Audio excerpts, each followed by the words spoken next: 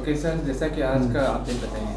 हाँ आज मेरा टेन सप्पा का हेयरिंग का तीन दिन था तो आज में लास्ट दिन है। तो हेयरिंग तो हो गया ख़त्म हो गया।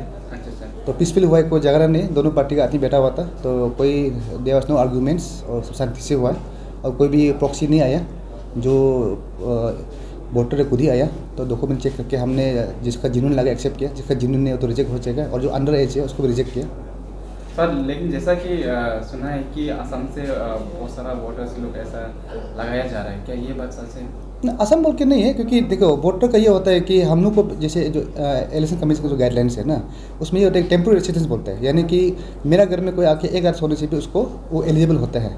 नियम तो ऐसा बोलता है फिर भी हम चेक कर रहे हैं कि इसलिए जो साथ में बीएलओ को बैठाता है तो वो वेरीफाई करते हैं कि वेदर ये आदमी जिनून है कि नहीं है। असम का कोई हाँ यहाँ मेरे लिए दुकान कर रहा है और, आजकल तो ऑटोमेटिक जनरेटेड होता है तो दुखी किसी का जगह नहीं है। कोई सपोज़ कोई बिहार का आदमी नाम है तो उसको सपोज़ के हम पता नहीं कि एंट्री करेगा तो ऑटोमेटिकली वो कंप्यूटर बताता है सॉफ्टवेयर हम लोग अपना एक सॉफ्टवेयर है वो बताएगा नहीं आपके नाम बिहार में भी है बोलता है। तो पकड़ा कहा जाता है? किसी का दो है तो हम ऑप्शन देता है कि आप कहाँ में रहेगा वहाँ रहेगा ना यहाँ रहेगा। और मैक्सिमम जो जो है किसी किसी का डिलीशन और इंटेंट जो डिलीशन डिलीशन सर्टिफिकेट लेके आता है, उसको देख के हम लोग करता है। डॉक्यूमेंट तो वेरीफाई करते ही हम लोग, और जो दुकानदार है डॉक्यूमेंट वेरीफाई करके ही कर रहा है। बिना डॉक्यूमेंट वेरीफाई कर नहीं करता है हम लोग। और जैसे कि मैक्सिमम आज ऑनलाइन हो गया। एक गरुदा ऐप्स है।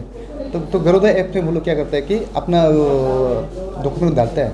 तो डॉक्यूमेंट अपलोड होने के बाद ही कंप्यूटर को जनरेट करता है। तो वैसे ही है। सर, जनता लोग कुछ ऐसा भी बोलना चाह रहा है legal without I I L P inner line permit का इसका इश्यू बहुत आज का सुबह में ऐसा कुछ अपडेट मिला तो नहीं नहीं देखो आई? वो आई इलेक्शन अलग है। आई तो वो उसमें चला जाएगा जुडिशियल प्रोसेस है वो ठीक है ना? उसका काम टाउन मजिस्ट्रेट करेगा उसके बाद पुलिस पकड़ेगा उसको तो वो अलग केसेस है उसका। ये एंट्री किया तो एल अगर बिना एंट्री करके बिना एलपी का घुसा है तो वो मजिस्ट्रेट का काम है। मजिस्ट्रेट ढूंढेगा उसके बाद पुलिस के साथ पकड़ के उसको ले जाएगा कोई प्रॉब्लम नहीं उसमें तो। तो हमको तो उससे मतलब नहीं, हमको तो पर्सनल आ रहा है उसका जो आइडेंटिटी प्रूफ जो है ना अगर असम का है तो वहाँ का जो एनओसी देते हैं वो लोग वहाँ बस्ती का वो हमको ज़रूरत है ना एल मेरा मैटर नहीं है। ये इलेक्शन प्रोसेस अलग है। एल पी जुडिशियल मैटर हो जाता है सर वीडियो में हमने रिकॉर्ड भी किया है। कोई कोई बिना आई एल पे कभी लाइन पे कतर पे खड़ा किया था। तो इसका बारे में क्या बोलते नहीं एल चेक करना वही हम बोला। एल पी चेक करना मेरा हम यहाँ एल चेक करने नहीं बैठा है ना। हम तो सिर्फ़ इलेक्शन हियरिंग कर रहे हैं। अगर आदमी जुनून है एटीन एज पार है ना या हम रेसिडेंस है उसको हम डालना है। तो वही हम बोला कि एल पी जुडिशियल प्रोसेस अलग प्रोसेस है।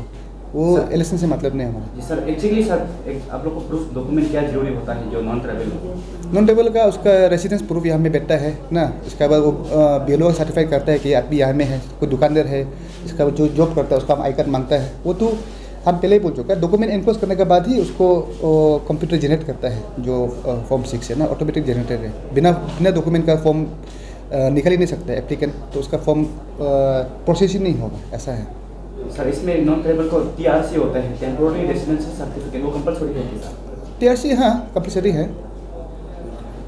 धन्यवाद सर ओके थैंक यू